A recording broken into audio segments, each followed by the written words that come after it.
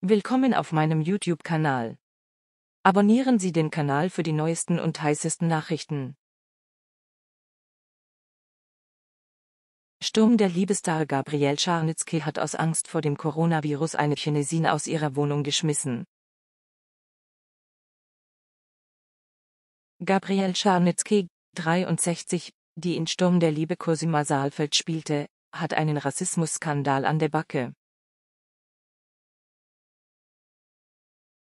Ich war nach der Kündigung so geschockt, dass ich mehrere Tage nicht mehr zur Uni gehen konnte.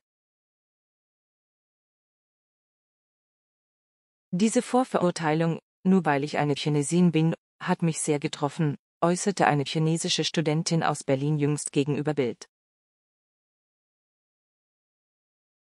Doch was war passiert? Sturm der Liebe, Scharnitzky hat Angst vor dem Coronavirus. Laut Angaben der Bild war Scharnitzky die Studentin aus ihrer Wohnung. Ich möchte nicht, dass du aus China in meine Wohnung zurückkommst und unsere Gesundheit gefährdest, denn der Coronavirus breitet sich schnell aus, heißt es im Kündigungsschreiben, das Bild vorliegt. Die Studentin erhielt es, nachdem sie Scharnitzky im Januar mitgeteilt hatte, in ihre chinesische Heimatstadt Chengdu reisen zu wollen. Allerdings, so die Studentin gegenüber Bild, sei sie gar nicht in ihre Heimat gereist und habe diese Information auch an ihre Vermieterin weitergegeben. Sturm der Liebe, Gabriel Scharnitzky rechtfertigt sich. Gegenüber Bild erklärte die Schauspielerin nun.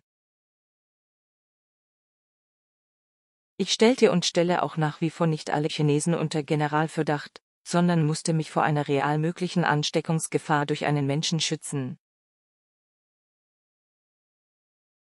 Der aus einem virenverseuchten Gebiet zurückkehrt, bei mir ein- und ausgeht und damit meine Gesundheit und die Gesundheit meiner Besucher in Gefahr bringt.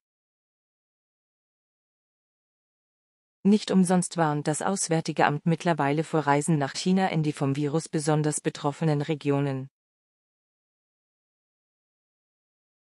Nicht umsonst sind mittlerweile diese Teile des Landes isoliert worden und nicht umsonst haben mittlerweile viele Fluggesellschaften die Flüge von und nach China eingestellt. Sie habe in den letzten zehn Jahren immer wieder Untermieter aus aller Welt, von Indien über Afrika, Türkei, Südamerika, Europa, Amerika und Vietnam gehabt und immer genossen, mit den unterschiedlichsten Kulturen in Kontakt zu kommen. Die Studentin hat jetzt zwei Wochen Zeit, eine neue Bleibe zu finden.